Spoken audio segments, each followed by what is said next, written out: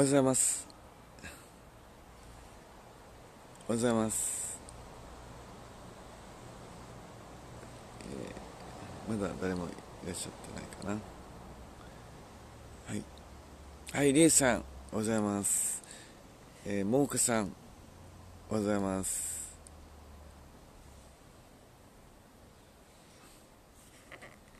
ガッデブさんおはようございます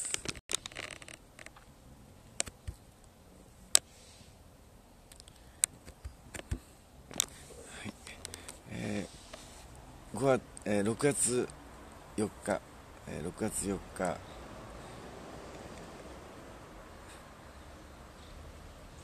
火曜日ですね。火曜日朝の電動放送です。ジャンクさんおはようございます。あおはようございます。おはようございます、今日はここに来ています。ここはまあ電波がいいところなんですが、えーそれでも完全ではないですね。やはり、えーなかなか電波は難しいです。パイオニアさん納豆さんおはようございます、えーちょっと、えー山をお見せします。これはですねあのインターネットでキリスト教の伝道してます。私牧師でですね。はい、毎朝毎晩伝道してます。どこに教会があるんですか？教会はね8丁目の方ですね。はいはい。これをあの えっとねう。そうあの花とかね景色とか、えー動物とかを映してですね、まあ神様が作った世界は素晴らしいということ。はいそれはいつもね朝早く起きてらっしゃるから 運動で生きてらっしゃるのかなと。そうあ電動電動ですねはいそれは素晴らしい。この辺はね緑が多いのでねこう花もたくさんそうですねあの見せることできる今一番綺麗じゃないですか。あー夏雪がねそう本当にね一年で一番最高ですでもあと1週間ぐらいで梅雨そうですそうですよね。入っちゃいますねそうですよね。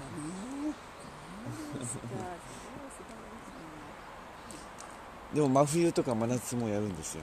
うん。もうもう寒い中でとか暑い中でもやります。毎毎日曜日でしょ。毎朝と毎夜。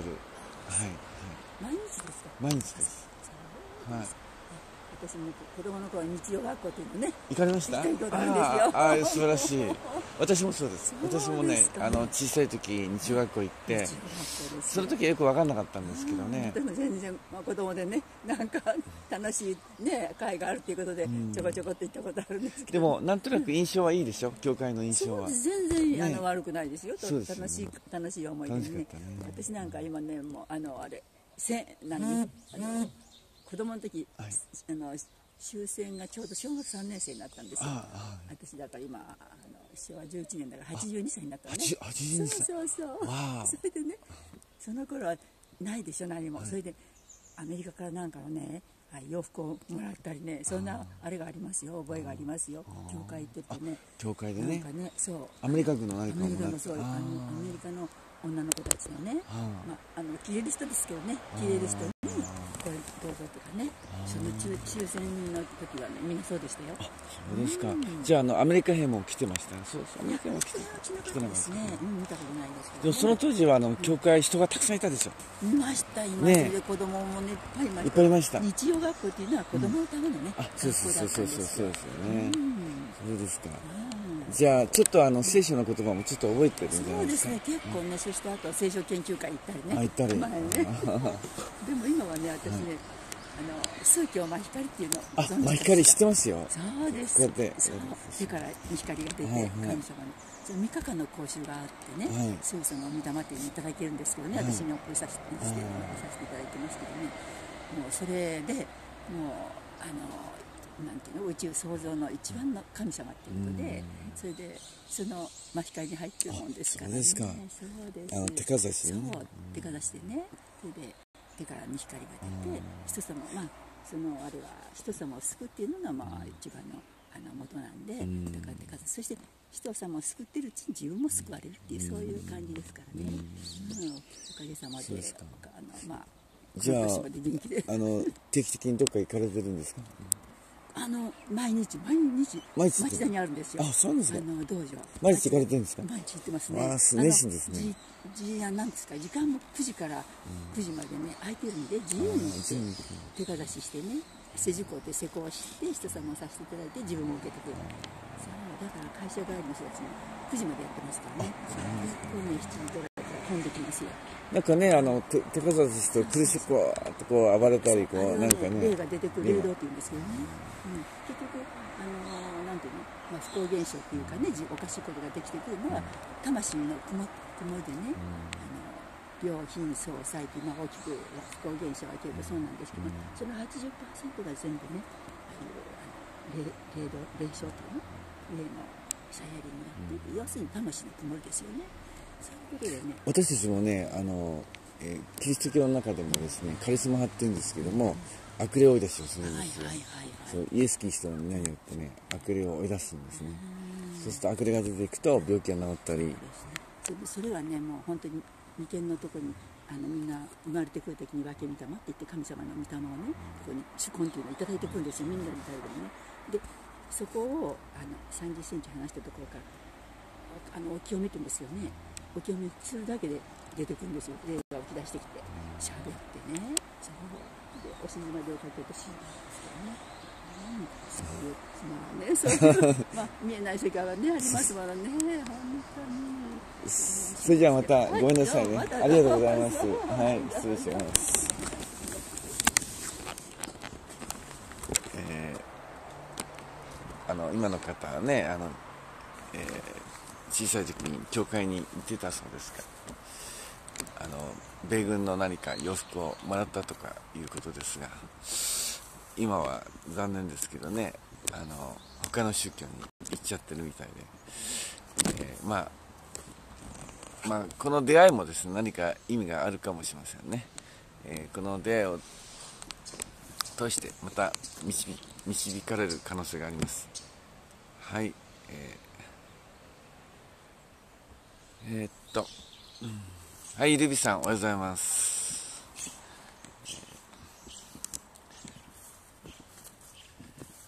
まあ、日本はですね、いろんな新興宗教がありますね。えー、新興宗教がたくさんあるということは、やっぱりその日本がですね、偶像崇拝の国なので、やはりどうしてもそういう、こう、なんて言うんでしょうかね、えー、悪魔が作った、えー、その嘘の教え。悪魔の作った偶像崇拝の教えがやっぱりはびこっています。ですから、えそのところをですね私たちは惑わされてはいけませんね。やはり、え神様は、えお一人ですね、え神様は一人なので、えー、ぜひ皆さん、え、日本の霊的な状況っていうのは、偶像崇拝なんだということですね。勝也さんおはようございます。えー、黒桃さんおはようございます。イエス様を信じ、イエス様の愛に触れて、皆、皆様が天国に行けますように。ルルさんおはようございます。えー、飼っているインコは入院しました。元気になってもらいたいです。アメン。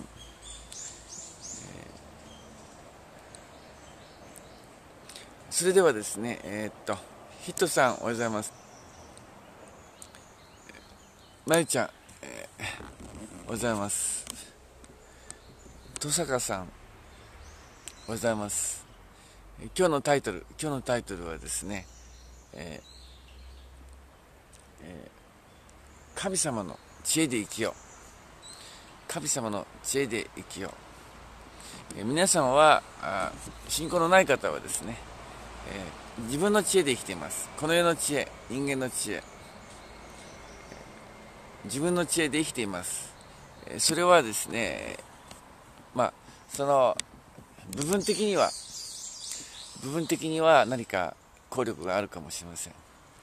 しかし、えー、人間の知恵では悪魔に勝つことはできません。人間の知恵で正しい道に行くことはできません。第3第一コリント10の7あなた方は彼らの中にある人たちになって偶像崇拝者となってはいけません。聖書は民が座って飲み食いし立っては踊ったとあります。そうですね、えー、私たちは本当に偶像崇拝に気をつける必要があります。日本は本当に偶像崇拝が多いのです。私たちは偶像崇拝から出なければなりません。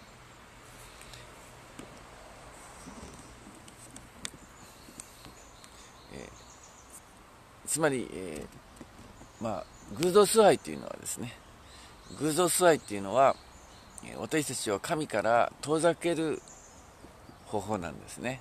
つまりあの皆さんわかるでしょ、本物本物からですね離れる離れさせるためには、まあ、偽物があると。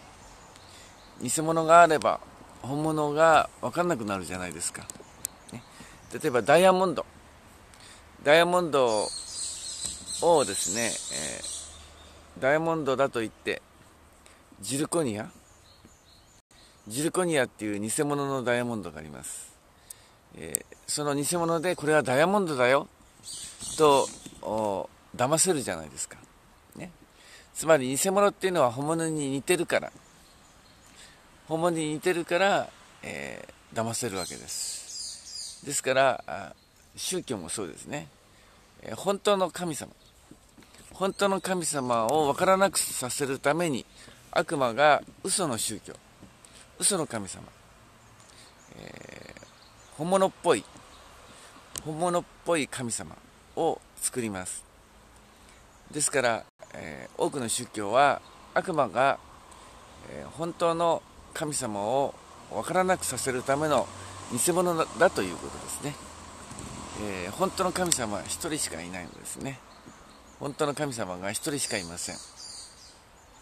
劉備さんプラスチックをダイヤモンドだという人がいる、えー、そうですね、えー、まあ、プラスチックでもきれいに作ると、え透明には、えその分からなく分からないですよね。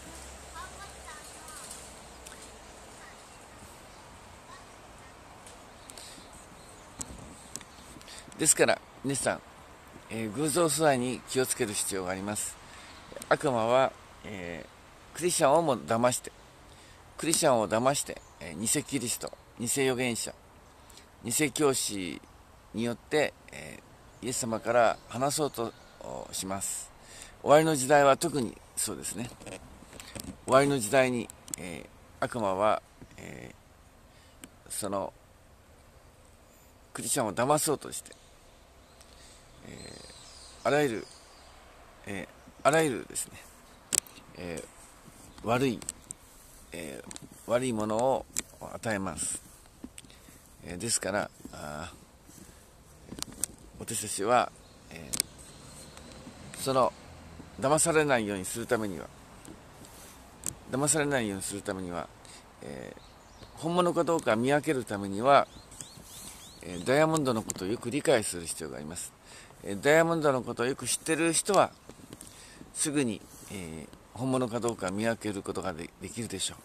皆さんもイエス様の教えをしっかり学べばイエス様の教えをしっかり学べば皆さんも偽物に騙されることがなくなるでしょう、えー、トラッチさんおはようございます、えー、ですからぜひ皆さん、えー皆さんが毎朝毎晩学んでいるのはとても素晴らしいことです。皆さんは本当の神様。本当の神様のことを学んでいるのです。ですから十分に学べば、えー、十分に学べば、えー、騙されにくくなるでしょう。だからといって、えー、油断してはいけません。油断してはいけません。私たちはいつもサタンに攻撃されるわけですね。ですから私も気をつけます。私も偶像に気をつけます。私も偶像を持たないように、えー、間違った教えに影響されないように。ますますますます真の内を歩みたいのです。サブレさん実は w i f i がなくて配信が見づらい状況です。そうですか。桃子さん偶像崇拝の危機危険恐ろしさを知りました。イエス様が本当の救い主です、えー、そうです、えー、日本は、えー、偶像崇拝だらけですね、えどこ行ってもお寺がありどこ行っても神社があり、えどこ行ってもいろんな、えいろんな宗教があります。本当に、えもう本当にですね偶像だらけ。偶像だらけです。ですから日本にクリスチャンが少ないのはそういう理由だと思います。日本に、えー、クリスチャンが少ないのは偶像礼拝が多い。偶像が多くて偶像礼拝が多い。だって皆さんわかるでしょ、えー、日本の行事お祭りは大体偶像崇拝ですよ。あの私びっくりしましたよ。あのえっとあるねえー、あのアミューズメント？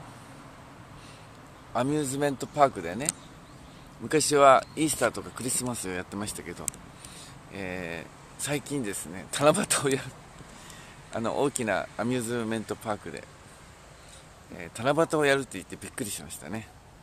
まあその日本の日本の行事も持ち出して日本のお祭りを持ち出して。七夕はもちろんその星に対星の偶像ですよね、えー、そのお月見は月が偶像です。七夕は星が偶像です。友久さんおはようございます。そういうわけで、えー、皆さんますます偶像崇拝がはびこると思いますね。4番さんおはようございます、えー、偶像崇拝がはびこります。で今日のテーマです。が今日はですね神の知恵で生きるということで多くの人は人間の知恵自分の知恵この世の知恵で生きてます。しかし私たちは神の知恵が必要なんです。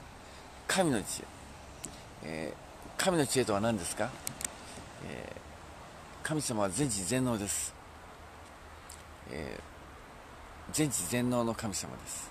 ですから、え神の知恵は、え本当の知恵です全てを知っていて何でもできるお方神の知恵あはなさんおはようございますハロウィンは良くないんですよ、劉備さん。ハロウィンは良くない。ハロウィンは悪魔のお祭りですね。悪魔のお祭りだからよくありません。御言葉はですね、御言葉は神の知恵です。えー、御言葉。私たちは、聖書を通して神の言葉を受けています、えー、特にイエス様の教え。イエス様の教えは神の知恵です。ですから私たちは神の知恵を持っていると言えるでしょう。イエス様の教えを守るということは、神の知恵で生きているということです。イエス様の教えを学んでいるということは、神の知恵を学んでいるということなんです。そしてそれは正しい知恵です。正しい知恵です。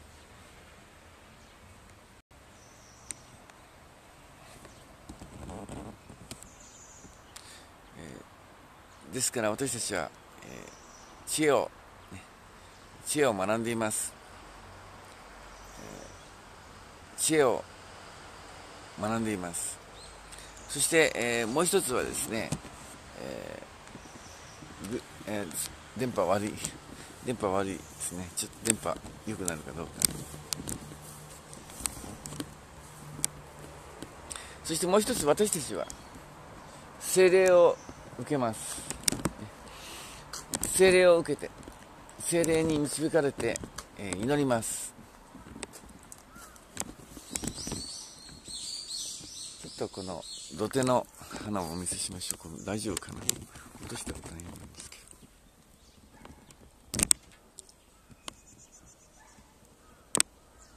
土手の花。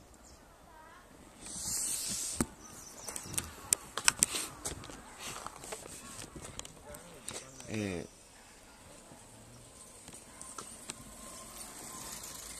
えー、私たちは、えー、祈ります、えー、いつも祈ります、えいつも祈ります。そして私たちが祈る時に、え聖霊様が知恵をくれるんです。私は祈ってる時いろんなインスピレーションを受けます。いろんなインスピレーションを受けます、え私たちは、えなぜ祈るんですか？祈るとですね神様が知恵をくれるんですね、え神様が知恵をくれます。皆さんぜひですね祈らなければですね正しい知恵がもらえません。祈らなければですね結局自分の知恵で何でも判断してしまいます。私たちは聖書の教えも私たちは学んでいますがあこれ、えー、あれですね。タンポポ。タンポポですね。あこれタンポポじゃないのかな？タンタンポポの一種かな？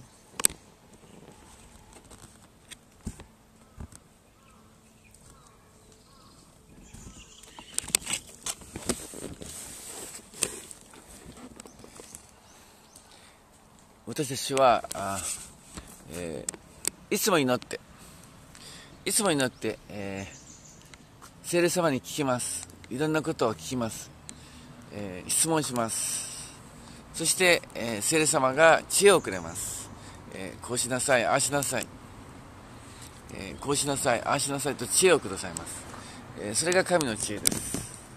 そして神の知恵によってえ、正しい道を選びます。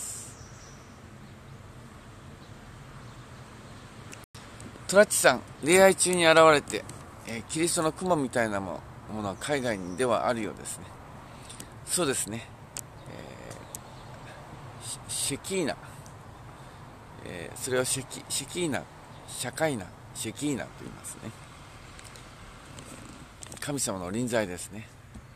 神の臨在が雲のように見えるんです。シェキーナと言いますね。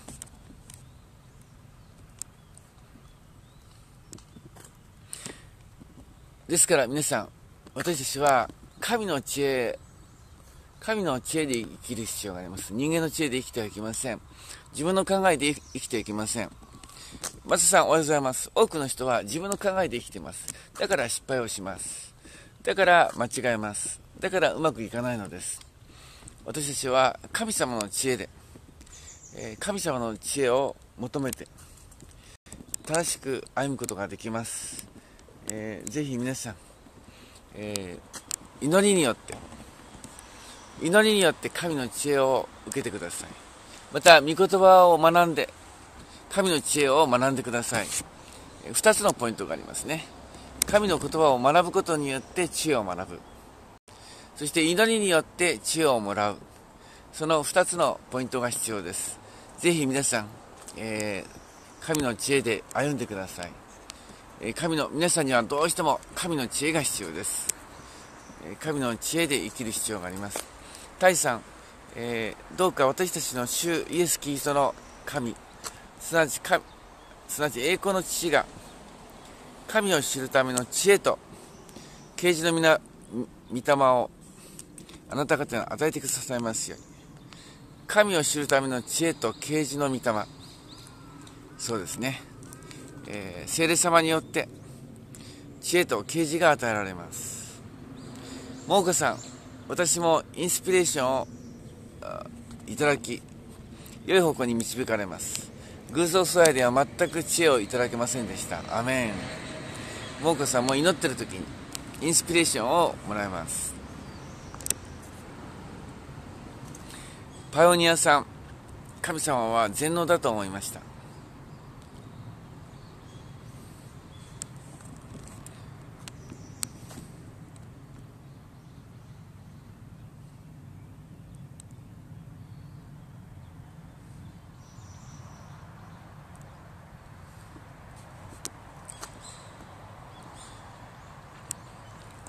はいそれではですねえー、っと明石タイム行きましょう。明かしたいはい、イエス様を信じて、イエス様を信じて、神の知恵が分かってきた。イエス様を信じて、いつも、えー、祈りを通して、祈りを通して、神の知恵をもらうようになった証。祈りを通して神の知恵をもらうようになった証スタートスタートスタートジドルさん、えー、そう思いますよそう思います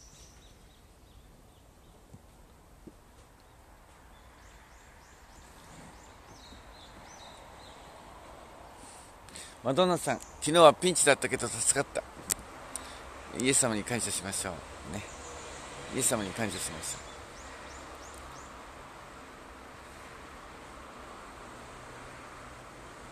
パイオニアさん、生きることは神様に対する責任だと思いました。すごいですね。すごいですね。生きることは神様に対する責任。アメン。そうですよね。命をくださったんですから。えー神様が命をくださったんですから生きる責任がありますせっかくの命をね。せっかくの命正しく生きる必要があります。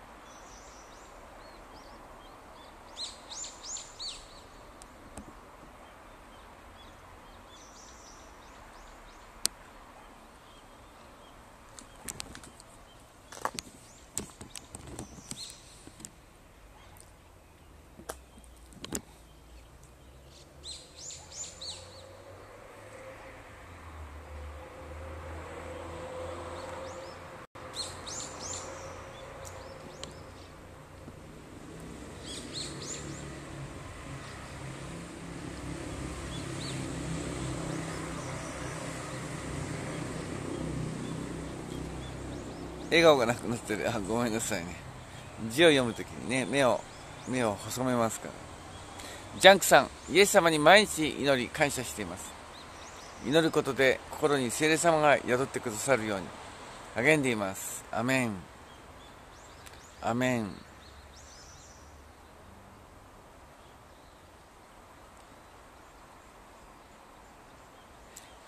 イエス様を信じ祈ることが一番の解決方法です。神様の知恵をいただいて本当に感謝します。アメン。アメン。私たちは一人で生きていけないんです。私たちは自分の知恵で生きていけないんです。なぜなら悪魔に騙されるからです。悪魔に打ち勝つためにはイエス様がどうしても必要です。イエス様の知恵が必要です。自分の知恵では生きていけないとはっきり理解してください、えー、今までうまくいかなかったのは自分の知恵で生きてきたからです。悪魔に負けたからです。悪魔に負けたので、えー、悪魔に負けたのでうまくいかなかったのです。ぜひ皆さん、えー、自分がうまくいかなかった理由を知ってください。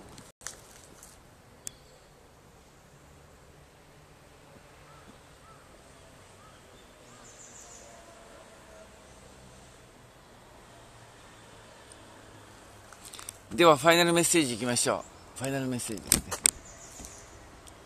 え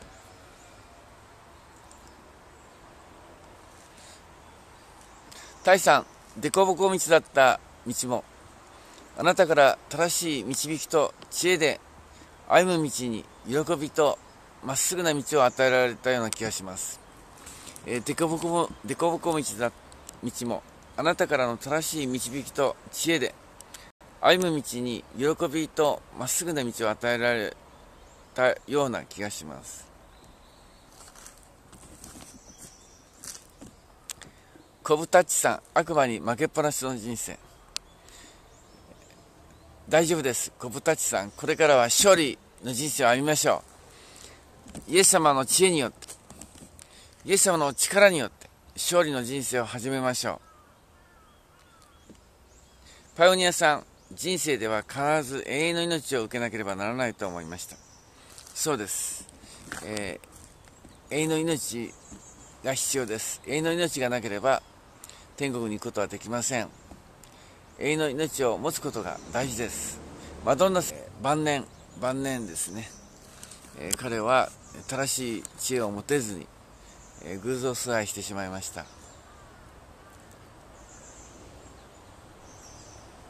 パイオニアさん勝利の人生を歩みたい。勝利の人生を歩みたい。ジャンクさんイエス様と共に歩んでいる人生に勇気が与えられました。アメン。アメン。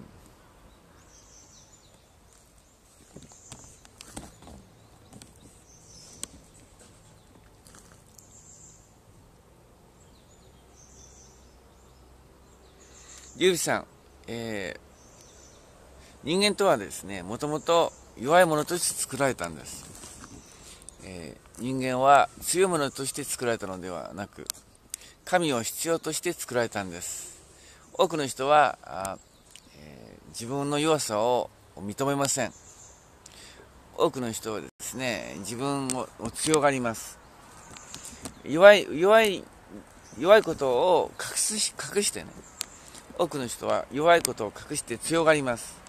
でもそれは正直じゃないんです。ユビさん、えー、正直に自分の弱さを認めましょう、ね、ああ私は弱いんだ。ああ私は弱いんだ。私は一人ではやっていけないんだ。自分の力だけではやっていけないんだ。ということを、えー、まず理解する必要があります。電波が悪い。申し訳ないですね、えー、今日はちょっと日によって違いますよね。なんか日によって電波がいいいい時と電波が悪い時があります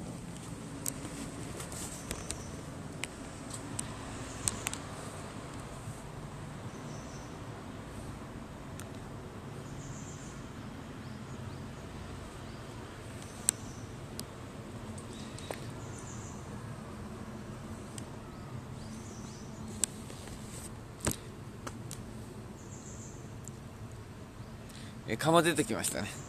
ちょっと最近はですね蚊もいるのでその蚊のいないところも選ばなきゃいけません、えー、まあ人が少ないところ電波が強いところ蚊がいないところまあいろいろいろんな条件があります。外配信はいろいろ大変です。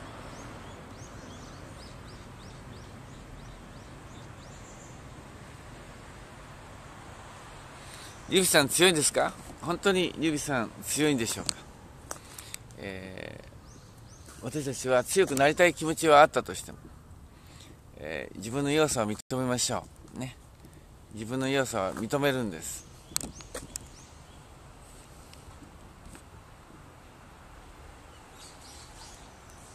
かなさん答えてほしかった？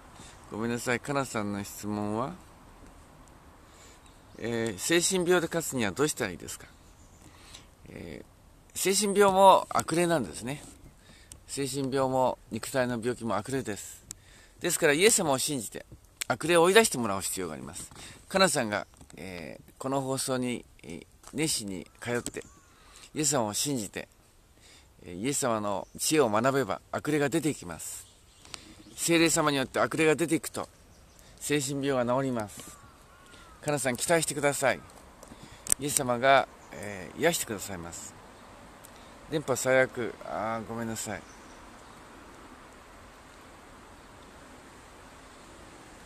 えー、花さん最近すがすがしい日々が続いていますね。気分がいいのでポジティブな気分になります。アメン。そうですね。今最高の季節ですね。最高の季節です。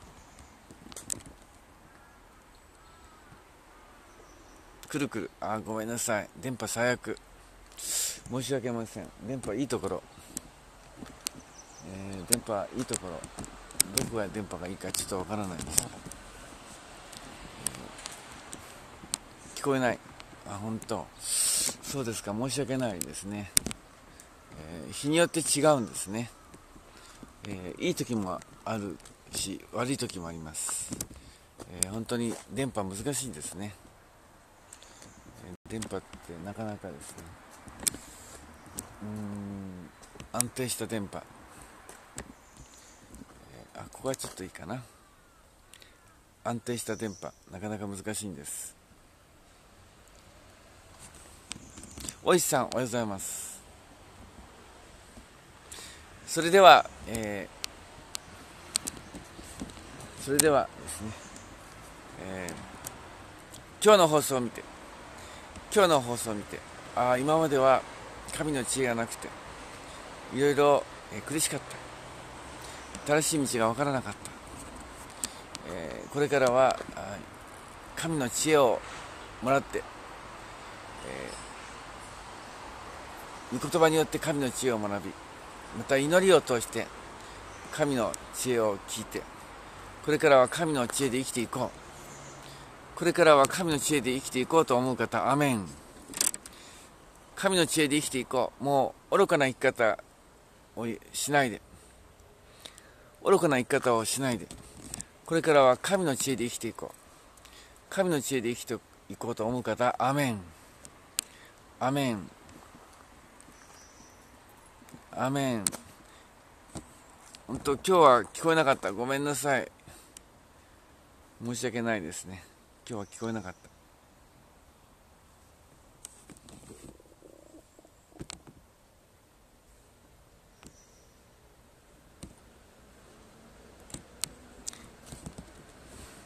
天のお父様。私たちは自分の知恵でいろいろ失敗してきました。罪を犯すことも失敗。偶像崇拝することも失敗。不倫行することも失敗。それらは神の知恵ではありません。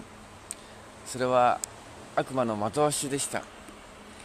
私たちは神の知恵がなければ悪魔の惑わしに勝つことができません。悪魔の罠から逃れることはできません。どうぞイエス様私たちにあなたの知恵をください。いつも知恵をください。私たちはいつも祈って祈ってあなたから知恵をいただき、えー、自分の知恵ではなくあなたの知恵に従います。あなたの知恵にでき歩みます。どうぞ今アメンといった方々がこれからは神の知恵で勝利から勝利、えー、栄光から栄光へ。悪魔に打ち勝ち。あらゆる困難を乗り越え問題を解決していくことができますように。それが神様の栄光です。十字架の栄光です。それが神の栄光です。どうぞイエス様。アーメンといった方々が、えー、神の知恵で勝利する栄光を与えてください、えー、カナさんの病気が癒されますよ。カナさんの病気が癒されますよ。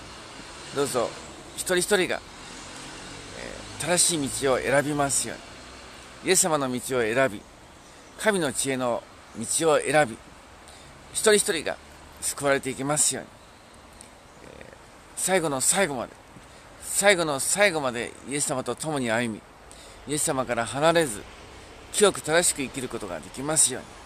清く正しく生きることができますように彼らを祝福してください。祝福してください。神の知恵を与えてください。今日も神の知恵で歩むことができますように。祈って祈って祈って神様から知恵をもらえますように。イエス様の皆によってお祈りします。アーメン。アーメン。アーメン。はい皆さん。皆さんの持ってる問題神の知恵が必要ですよ。ぜひ今日祈って神の知恵をもらってください。今皆さんが直面している問題の答えを神様からもらってください。それじゃあまた夜7時にお会いしましょう。シャローム良い一日を。シャロームシャロームシャローム